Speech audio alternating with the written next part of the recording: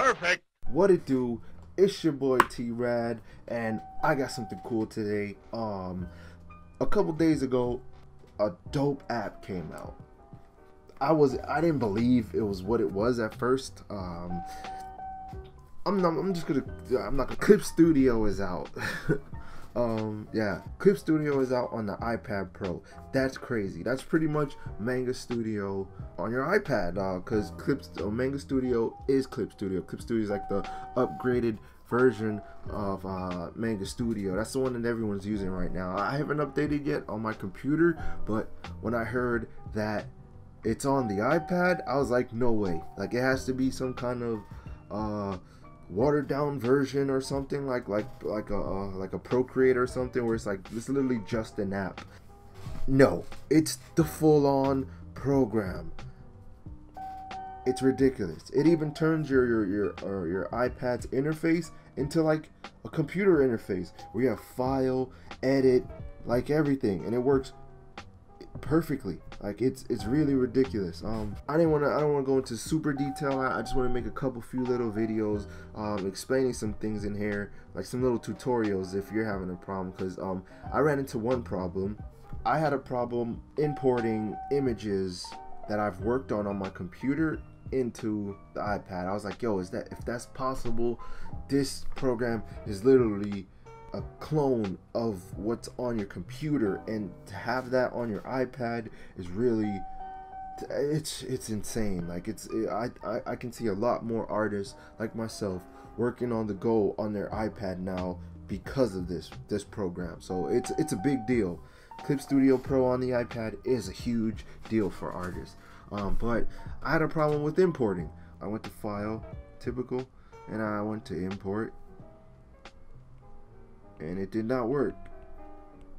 I, I tried to import image, import, import from library, it did not work. I tried open, um, and open brings up this weird option here, like, like hold on, let me show you, uh, like this, like it's it's like this this its own little hub of save files.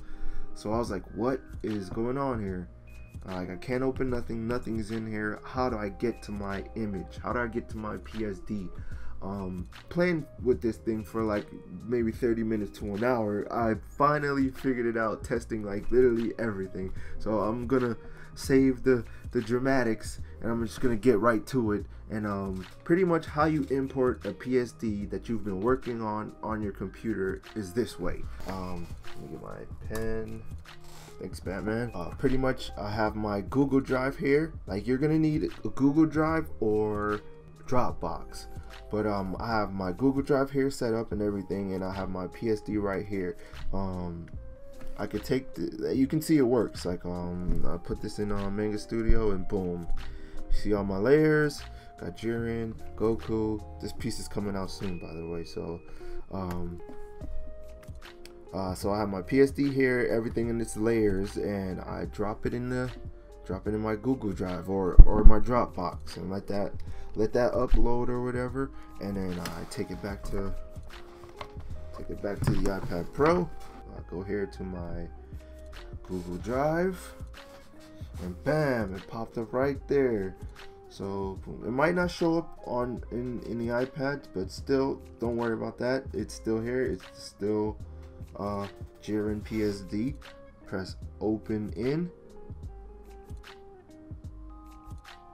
and bam, you have some options uh, what what programs to open. And then um, uh, if you don't see Clip Studio or, or or your Procreate or whatever, just click like these these sidebars and that should turn it on like boom easily.